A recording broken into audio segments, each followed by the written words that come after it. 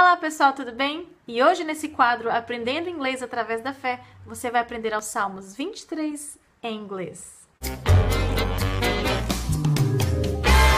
Mas antes disso, apenas um recado super importante. Se você quiser receber mais vídeos, mais dicas, uh, material para download e outras coisitas mas você pode se inscrever no grupo fechado que eu tenho no Facebook, Meu Inglês Percorrendo o Mundo. Você pode enviar uma solicitação para mim e eu te aceito como membro. Lá você pode interagir, dar sua opinião, você pode perguntar, você pode tirar dúvidas, tá bom? Então não se esquece, corre lá. E se você ainda não é inscrito aqui no canal, clica aqui, se inscreve, se gostou do vídeo, compartilha. Dessa forma você cresce junto comigo, a gente caminha junto.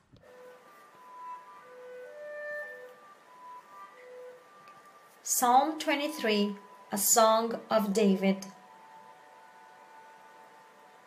The Lord is my shepherd. I will always have everything I need. He gives me green pastures to lie in. He leads me by calm pools of water. He restores my strength. He leads me on right paths to show that He is good.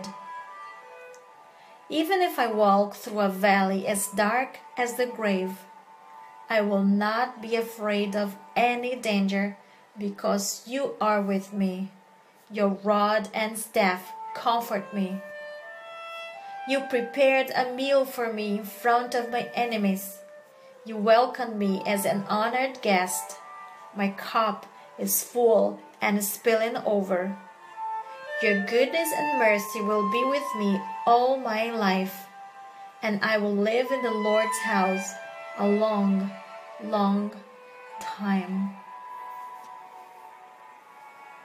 Então é isso aí, a gente se vê por aí falando inglês e crescendo como pessoa. Até mais!